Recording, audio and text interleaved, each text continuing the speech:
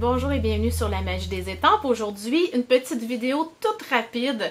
Euh, j'ai eu des questions dernièrement de plusieurs personnes qui m'ont envoyé un courriel en me disant euh, c'est quoi la grandeur de carte standard? Tu la donnes pas souvent sur ton site. Euh, je la donne beaucoup dans mes cours en ligne, dans les notes de cours. Je vous comprends dans le fond. le but, mon but à moi, c'est que j'adore les enveloppes Stampin' Up parce qu'ils sont satinés, sont douces et puis elles reçoivent l'encre à merveille. Donc, c'est certain que si on veut entrer dans un format standard comme ça, on prend une feuille 8,5 11 et le but, c'est qu'on n'ait pas de perte. Donc, je peux choisir de la couper dans un sens ou dans l'autre. Si je coupe dans ce sens-là, 8,5, donc c'est 4 écarts, OK? Et puis là, je vous montre une chose. Ici, j'ai une petite lame pour faire un pli. Et en bas, ici, la lame pour couper. Donc, je vais couper. Et puis là, la moitié de 11, c'est 5,5. Je viens faire mon pli.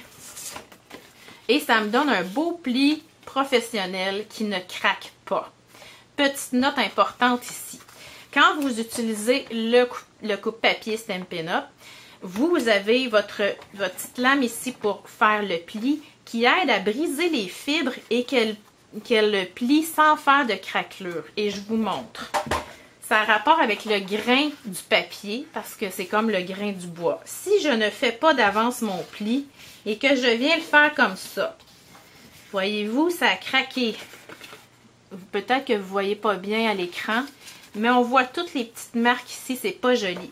Si je viens le faire à l'avance, avec mon plioir intégré dans mon coupe-papier Stampin' Up, c'est parfait. OK? Donc, si je veux faire une, carte dans l'autre sens, eh bien, c'est tout simple. Si j'en fais deux à la fois, je peux faire mon pli d'avance. Hein?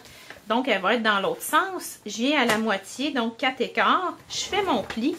Et puis là, ici, c'est 11. Je vais chercher 5,5. Je vais plier pas plier, mais couper. Et là, j'ai mes deux bases de cartes en même temps. Donc, d'une manière ou d'une autre, je n'ai aucune perte.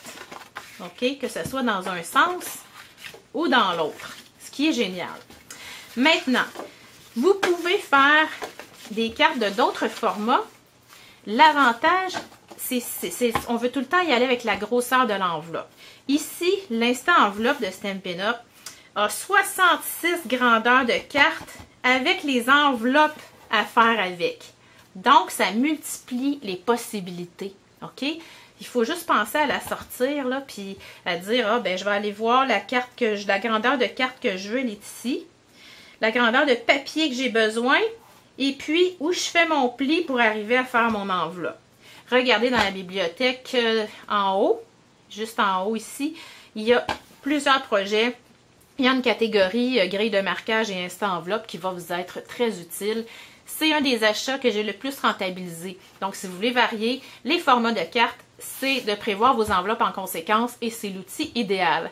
Alors, j'espère que ça vous a aidé. Je vous souhaite une très, très bonne journée.